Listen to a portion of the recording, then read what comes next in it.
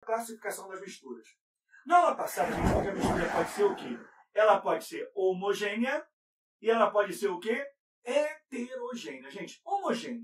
Quando se misturar algo, português bem claro, para nossa aula ficar assim, bem do dia a dia. Ah, vocês já me adicionaram no Instagram, já estou curtindo coisas de vocês. Maneiro, curti, valeu. Ó, então, gente, ó, homogêneas. Quando se mistura algo e não consegue ver a separação entre eles. Exemplo, gente, se você bota açúcar, né? Pode um pouquinho de açúcar na água. Mistura, dependendo da quantidade de açúcar, você não consegue ver. Isso depende de uma quantidade, gente, chamada saturação, que eu vou te falar depois. Então, só uma pitada de açúcar você dissolve e não vê. Quer ver outra coisa, gente? A água mineral, né, que eu peguei aqui ainda agora. Você olha, cara, você não vê, mas aqui, gente, tem um monte de sais minerais. Inclusive, até as pessoas falam assim: ah, se acabasse a água no mundo, a gente poderia viver com a água do mar destilando-a. Mais ou menos, sabe por quê, gente? Se você destilar a água, a água fica o quê? Água pura. Água pura quer dizer uma água que não tem sais minerais. E quem te nutre da água, quem faz a tua nutrição, a manutenção da vida, são os sais minerais, né? Então, gente, a água mineral, por exemplo, essa de galão aqui, né, ó, na água mineral há sais, mas você não percebe. Mistura homogênea. A não ser quando tem um mosquito lá, que a gente vê às vezes, né? Outra, gente, ó, o álcool, né? O álcool, gente, você olha, se eu botar um copo de álcool aqui e falar, bebe, você vai beber, até você sentir o cheiro e, e, e talagar, você não vai saber se é água ou não, né? Se bem que dá pra saber pela densidade, você percebe que o copo é um pouquinho mais leve. Mas, cara, então não tem uma balança na mão. Então, álcool e água, gente, são duas substâncias que se misturam em quaisquer proporções. Eu queria que você já colecionasse o seguinte: sabe por que eles se misturam? Porque eles realizam ligação de hidrogênio, a famosa ponte, que hoje é cafona falar ponte, sabe? A gente fala mais ligação de hidrogênio. E como eles fazem ligação de hidrogênio, o álcool e a água formam mistura homogênea de qualquer situação. Tá bem? Então, mistura homogênea, gente, é aquela que só vê uma fase. Já a heterogênea, quando se mistura algo e consegue ver a separação, ou seja, as fases Tá ligado? Cada fase é uma parte daquela mistura que guarda as suas propriedades da substância pura. Exemplo, se essa parte aqui é água pura, gente, essa parte aqui tem todas as propriedades da água pura. Ponto de fusão zero graus de ebulição. Mas quando mistura com álcool, o álcool também guarda deles. Só que se você for olhar o ponto de fusão e de ebulição da mistura, vai dar diferente do que é normalmente quando elas estão sozinhas. Isso aqui é uma mistura, gente, ó, que tem duas fases, tá vendo? Tranquilo? Agora, repara só, se eu aqui, por acaso, gente, colocasse uma pitadinha de açúcar, se liga só, açúcar, vamos botar o que? Azulzinho? Ó, se eu botasse aqui uma pitadinha de açúcar e dissolvesse, tudo bem? Repara que a parte de baixo continuaria homogênea.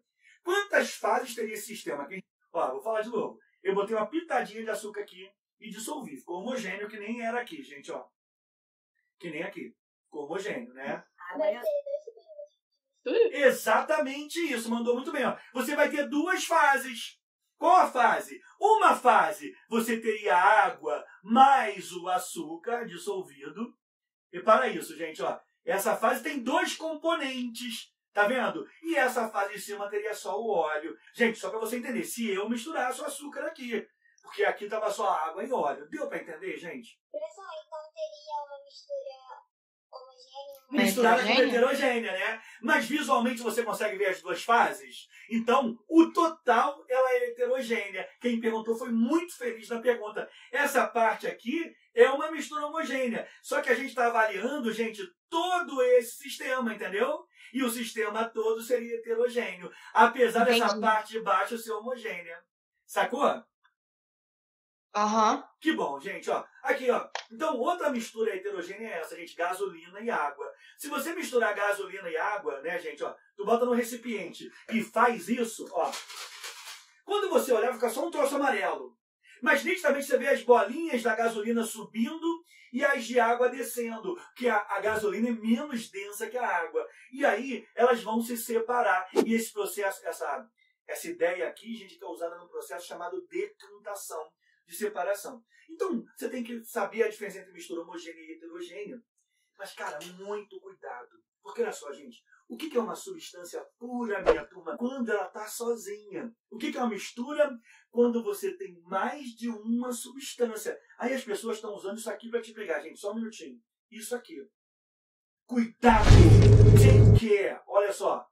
Nem todo sistema é. Aqui eu esqueci de botar o G, tá, gente? Ó. Nem todo sistema é heterogêneo. Escrevi com I, analfabeto. Nem todo sistema heterogêneo é uma. Aqui, ó, como é que eu sabia escrever? É uma mistura heterogênea. Cuidado, sabe por que essa ficou toda mal escrita? Que eu lembrei de falar isso agora em cima da hora, quando eu estava entrando no site para te dar aula. Cuidado, gente, nem todo sistema heterogêneo é uma mistura heterogênea. Quem fala por Porque é uma mesma. Caraca! Peraí, brother, peraí, peraí, peraí. Cara, mandou muito. Por quê, gente? Ó, o que, que é isso aqui, gente? Isso aqui é água. Só que a água em que estado? Sólido. Isso aqui, gente, é água. Só que a água no estado líquido. Entretanto, você. Esse L ficou horrível, né, gente? Ó. Entretanto, como você vê as duas fases, você vê, então ele é heterogêneo. Só que ele não é uma mistura. Porque para ser chamado de mistura, tem que ter mais de uma substância. E a substância aqui é a mesma. Na verdade, gente, você tem uma substância chamada água em mudança de estado físico. A água no estado sólido e a água no estado líquido. Você tem mais de uma fase, tá vendo? A fase é gelo, que você, você vê as duas, você vê a fase líquida, você vê a fase gelo, tá vendo? Então aqui você tem a fase sólida, que é gelo, e a fase líquida. Ou seja, o sistema é heterogêneo. Ele pode se chamar de sistema heterogêneo, mas ele não pode ser chamado de mistura. Sabe por que ele não pode chamar de mistura? Porque para ser mistura, você tem que ter substâncias diferentes. Sacou? Se inscreve, solta o like aí e a gente se vê na próxima aula. Até a próxima. Valeu!